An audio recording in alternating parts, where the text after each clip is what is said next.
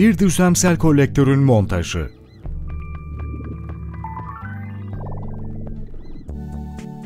Güneş kolektörleri en ucuz enerji kaynağı olan güneş ışınlarının enerjisini doğrudan kullanır.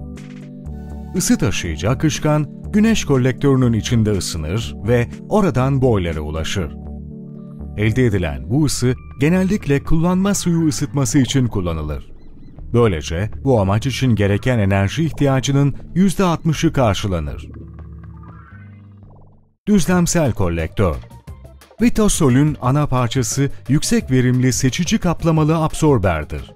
Bu absorber, güneş ışınlarının yüksek seviyede emilmesini ve ısı kaybının da en az seviyede olmasını sağlar. Absorberin hemen altında içinden ısı taşıyıcı akışkanın geçtiği kıvrımlı bakır boru bulunmaktadır. Isı taşıyıcı akışkan, bakır boru üzerinden absorberin ısısını alır. Absorber, yüksek etkili ısı isolasyonlu kolektör gövdesi tarafından çepeçevre sarılmıştır. Böylece kolektörün ısı kayıplarının en aza indirilmesi sağlanmıştır. 12 adede kadar kolektör birbiriyle bağlanabilir. Montaja başlamadan önce montaj kılavuzunun dikkatli bir şekilde okunması ve tüm parçalarının kontrol edilmesi önerilir. Başlıca montaj elemanları, çatı kancası, alüminyum montaj rayı, küçük sabitleme ve bağlantı elemanları. Bu parçaların hepsi ayrı ambalajlarda paketlenmiştir. İlk olarak küçük kolektör elemanları birbirine yerde monte edilir. Bu durum daha sonra yüksekte yapılan montajı daha da kolaylaştırır. Önce kullanmayacağımız manşonları kapatırız. Bunu çift halkalı sızdırmaz tapalarla yapmaktayız. Bu tapalara montaj setine dahil olan armatür yağı sürülmelidir ve yerine sokulduktan sonra kelepçeler ile sabitlenmelidir. Bu işlem kapatılan her iki manşon için tekrarlanır.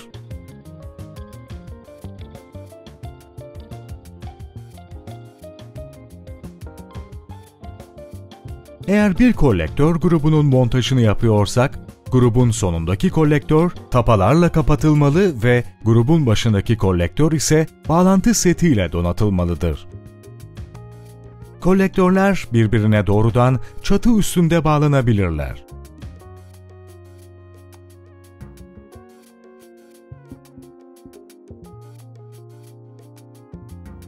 Bağlantı boruları yağlandıktan sonra karşılıklı manşonlara yerleştirilir ve kelepçelerle sabitlenir.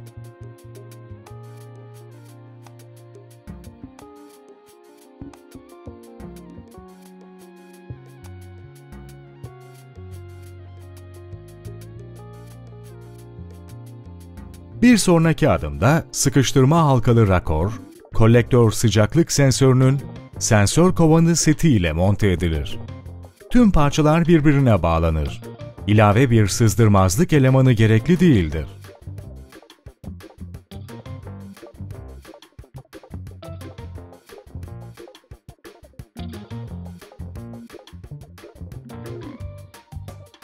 Pürjör sıkıştırma halkalı rakora monte edilir.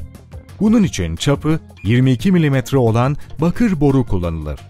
Bakır borunun içine gerilim önleyici kovan yerleştirilir ve hepsi birbirine sabitlenir. Otomatik veya manuel purjörler, sistemin don koruma özelliği olan ısı taşıyıcı akışkan ile doldurulması sırasında havasının alınmasına yardımcı olur. Çalışma sürecinde kapalı kalmalıdır.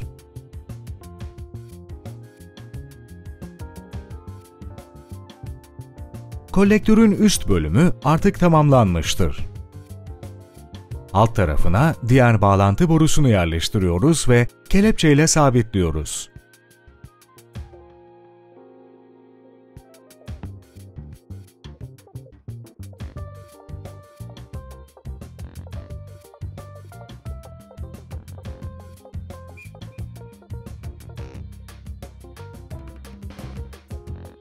Sıradaki adım kolektörün çatı üstüne montajıdır.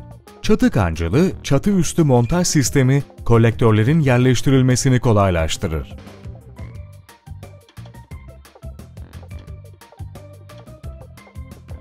Yeni çatı kancaları doğrudan çatı kirişlerine vidalanır ve kolektörlerin çatı kaplamasına mükemmel bir şekilde uyumlu olmasına olanak sağlar.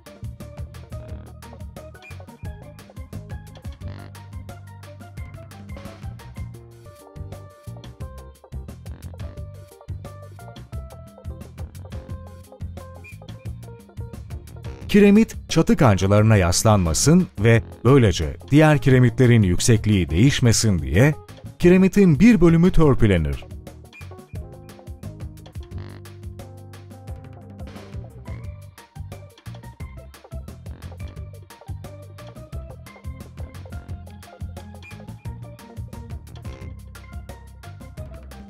Kolektörler alüminyum montaj rayına yerleştirilir ölçülere dikkat edilmesi gerekmektedir.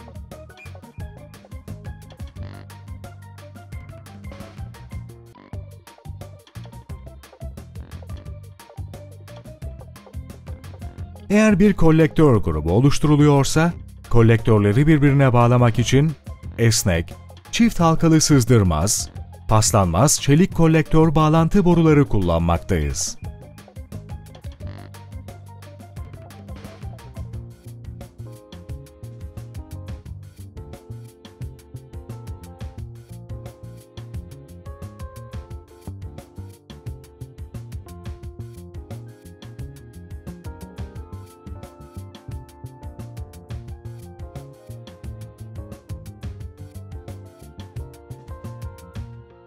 Esnek boru, kolektörler sabitlenirken açık kalan iki manşona yerleştirilir. Halkalara montaj setiyle birlikte gelen yağın sürülmesi unutulmamalıdır. Diğer kolektörü yerleştirirken tip etiketine dikkat edilmelidir. Tip etiketi dış tarafa bakmalıdır. Böylece montajdan sonra da görülebilir. İkinci kolektör ilk kolektöre yanaştırılır.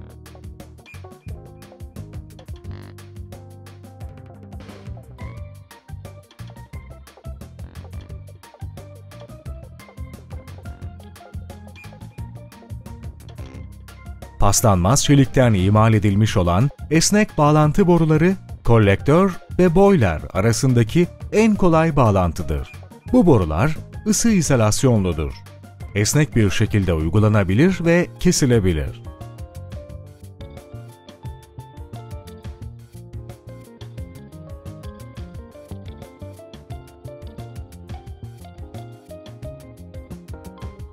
Tüm açıkta olan parçalar ısı izolasyonlu olmalıdır.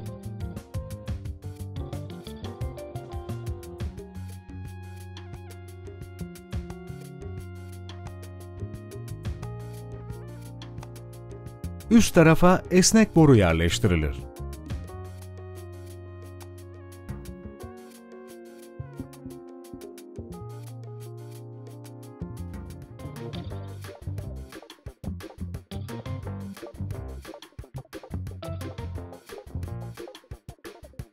Pürjörün tüm sistemin en yüksek noktasında konumlanmış olmasına dikkat edilmelidir. Son olarak kolektör sıcaklık sensörü kovanın içine doğru yerleştirilir.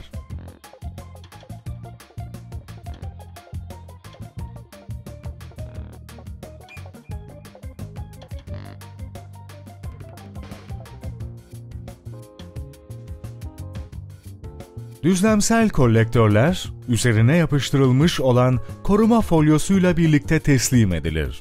Bu folyo, işletmeye alınmadan önce kesinlikle çıkartılmamalıdır.